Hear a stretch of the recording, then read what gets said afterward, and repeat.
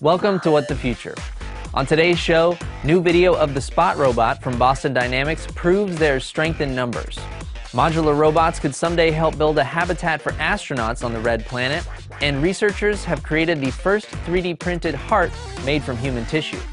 Let's get into it. Boston Dynamics says its Spot Mini robots are coming off the production line and they can't wait to get to work. It took just 10 of these dog-like robots to pull a truck, in neutral, up a one degree incline. Boston Dynamics has shown the Spot robots learning to do all sorts of tricky maneuvers. Falling down, getting up, getting down, going up, doing the dishes, and even shaking its backside. Boston Dynamics says these spunky four-legged robots should be available for purchase in the near future. Turning the harsh Martian landscape into a place astronauts can call home won't be easy. That's why NASA hosted a competition to find ideas from outside the aerospace industry. This concept from architecture firm Hassell is one of NASA's finalists.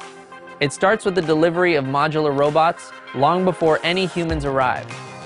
These autonomous, interchangeable robots can perform different tasks in different configurations. The work starts with the one-wheel Scout rover, which scans the Martian surface looking for regolith. When it has found a suitable spot, the digger robot comes in to do its work, gathering the loose dust and broken rocks. It then delivers them to a melting robot which uses microwaves to liquefy the regolith.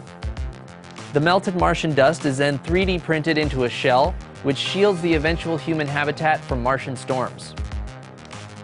Once the shell is built, the astronauts arrive with pre-built habitation units, which are transported by the modular robots in a mobile platform configuration.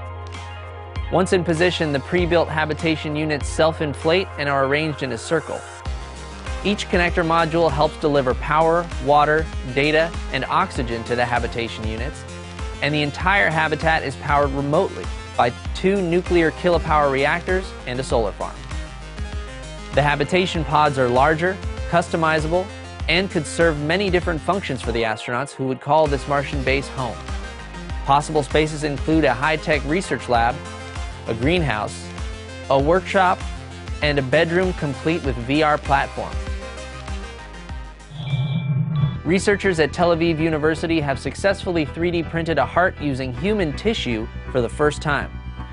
The heart is more rabbit-sized than human-sized, but it's still a breakthrough, as it marks the first time an entire heart has been printed with living cells, blood vessels, ventricles, and chambers intact. The heart can contract, but it can't yet pump out blood. Researchers say the next step would be to test 3D printed hearts in animal models. The team says that fully functional organ printing technology is likely at least 10 years away. That's all for this week.